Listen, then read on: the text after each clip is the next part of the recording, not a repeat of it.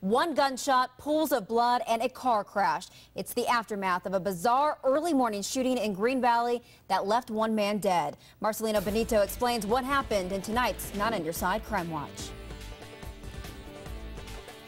Bloodstains. It's not what Green Valley residents are used to seeing on their sidewalks, but it's what's left behind after a domestic dispute turned deadly.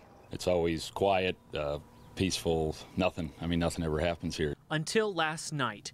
Alex Charlin lives next door to Christina Dunkel and her boyfriend Anthony Peters. What do you know about them? Pretty normal couple. What about him? Yeah, they uh, they moved in shortly after I did, uh, first of the year, and they're always quiet, um, pretty nice. You know, we had several conversations, talk, you know, talk a fair amount, and they're always. Uh, you know, just just normal people. So I didn't had no no negative interaction with them at all. But last night, a violent struggle between the couple started inside this house. Deputies say Peters tried to choke her. The commotion quickly spilled into the street. The uh, female was able to escape from the location and run over to a neighbor's uh, place. The the boyfriend, the aggressor, uh, went after her, forced his way inside, physically forced her back outside of the house. The girlfriend is able to run away from the from the scene, and the next thing she knows, she hears gunfire. Her neighbor, Alexander George Cleveland, shot Peters in what neighbors believe was self-defense. Definitely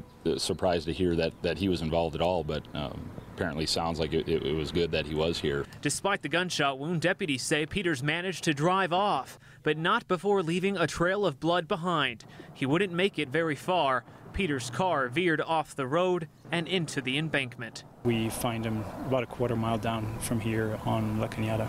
Blood lines the sidewalk where this all ended. Paramedics say they tried to render first aid and keep Peters alive. He died at the scene. Detectives tell me this matter is still under investigation. We're reporting from Green Valley tonight. I'm Marcelino Benito, KGUN 9 on your side. And we did look into Anthony Wayne Peters' criminal history. According to the Arizona Department of Corrections, Peters served three months in 2010 for charges of disorderly conduct and domestic violence.